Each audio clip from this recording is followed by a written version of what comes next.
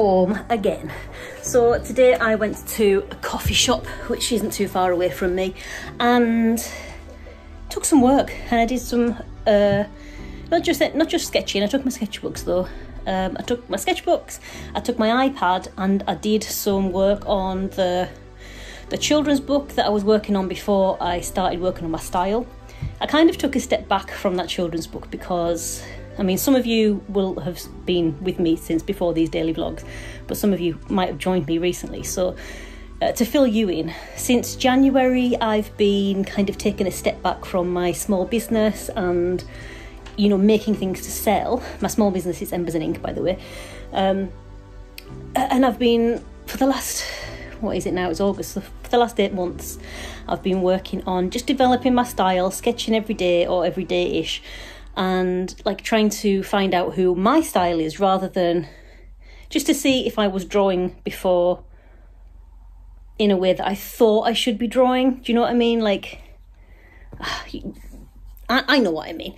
Um, so I kind of took a step back from working on the the new children's book. So my first children's book I self-published. This book I'm going to self-publish as well. But since the beginning of the year and working on my style and actually realizing that I do have a style and I've got loads of ideas for other books and doing some illustration courses, uh, I'm going to start going down the traditional children's publishing route um, to see if any of my ideas can actually make it. But this book I'm working on at the moment, because it's from before all of that time, for a long time I was um, because it's from before all of the the time when I've been working out my style and, and working on my own creativity. Uh, I kind of distanced myself from it because I felt like it wasn't me anymore. But it's very, very close to being done.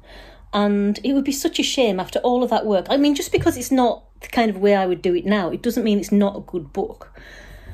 Um, I'm not going to redo it all in the way I do it now because it's so close to being done uh, that it would be such a shame. So I'm just going to finish it off. It still is good. I mean, it still is. I'd be proud to put my name to it. I am proud to put my name to it. So I've been working on that today in the coffee shop, which has been nice. But as you can probably tell from my flushed face, it was absolutely baking in there, really hot. Um, but if you are wanting to increase, like, your. That's not the way to start that. If you are interested in uh, widening your horizons in terms of drawing or sketching, can I suggest going to a cafe because there are so many people like come through the doors. Uh, so today I drew I drew like a cafe scene with a few people in the background as a warm up. Um, there was someone with a dog in there, so I drew the dog. I drew, I just like sketched. There was some uh, a, a group of women in with some babies, so I was like drawing like their feet and their hands. The babies, not the women.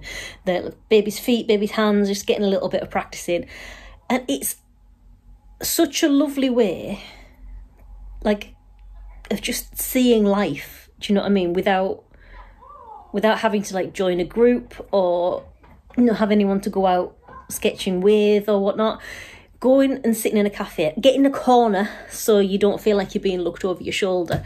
Um, and just take your sketchbook, have a coffee, bit of cake or whatever, and draw. No expectations, just nice quick sketches. It's amazing what you can come out with. And I didn't ever really do this before, before this year, and it's now one of my favourite things.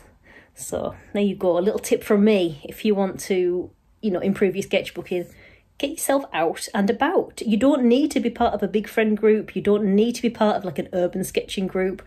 I mean, fine if you are. Just go and grab a coffee and a piece of cake and a sketchbook, sit in the corner of the cafe and draw what you see. But I'm pooped, so Rolly is very patiently waiting by the back door for his uh, little garden jaunt. So I'm going to go and take him outside now to get some fresh air.